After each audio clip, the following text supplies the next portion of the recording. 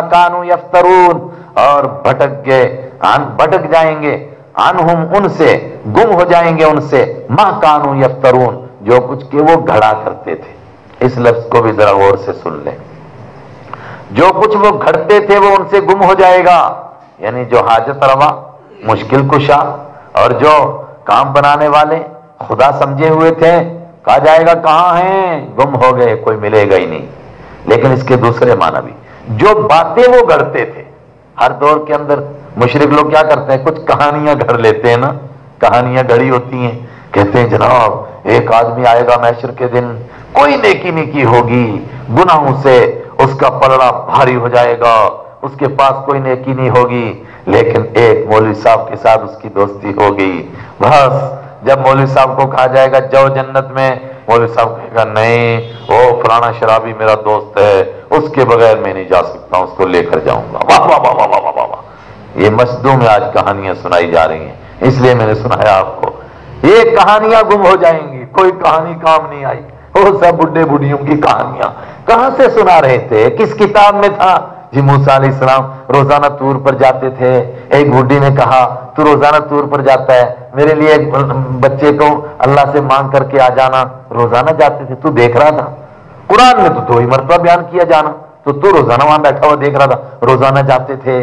फिर मूसा इस्लाम ने अल्लाह से कहा, अल्लाह फलानी बुढ़ी को एक लड़का दे दे। अल्लाह ने कहा, उसके खाते में मैंने बच्चा लिखा ही नहीं है। फिर मूसा इस्लाम ने आकर के कह दिया कि तेरे खाते में है ही नहीं। कुछ दिन के बाद अचानक बूढ़ी ने देखा एक लड़का है उसके। वो मूसा इस्लाम ने देखा बूढ़ी के पास एक लड़का है। कहा, कहाँ से आया? कहा? तू कह रहा था ना, है ही नहीं तेरे खाते में। ये कहाँ से आया?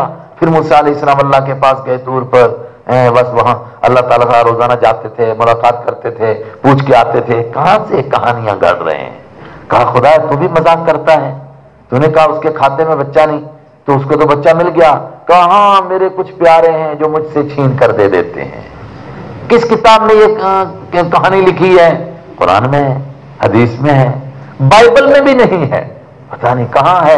कहा, सब जाहिलों की जाहिल किताबों में कहानियाँ गढ़ते हैं, अब तक ऐसी ऐसी कहानियाँ गढ़ रहे हैं।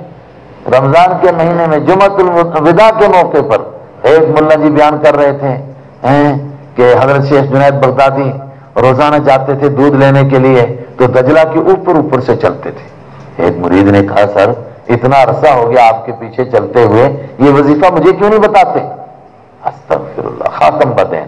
अल्लाह के घर में कहते हुए, नकले कुफर कुफर न बाशत मगर फिर भी आदमी डरता है। कहता है, जुनैद बगदादी ने कहा, जा, मैं बताता हूँ कैसे। तो कहा कि, तू जब दरिया पर चढ़ेगा तो कहते जाना, या जुनैद अल मदद जुनैद मेरी मदद कर, जुनैद मेरी मदद कर तो वो पढ़ता गया वजीफा तो सीधा पार चला गया। लेकिन कहता है वहाँ हो सकता है किसी वाबड़े से मुलाकात हो गई। वापसी में उसने कहा, यार, मेरा क्या दिमाग खराब है?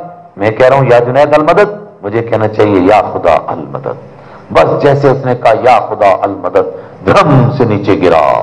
गिर गो जुनैद, ये क्या हो गया? कहा, वही बोल जो मैंने पहले कहा था। फिर वो पार आया। उसने कहा कि ये क्या मुझे समझ में नहीं बात आपका नाम लिया तो ऊपर ऊपर चल रहा था। खुदा का नाम लिया तो डूबने लग गया। कहा, तुम्हारी हिम्मत, तुम अल्लाह का नाम लो, तुम हमारा नाम लो, हम अल्लाह का नाम लिया करेंगे। क्या मक्का के काफिर इससे अलावा किसी और दीन को पेश कर रहे थे?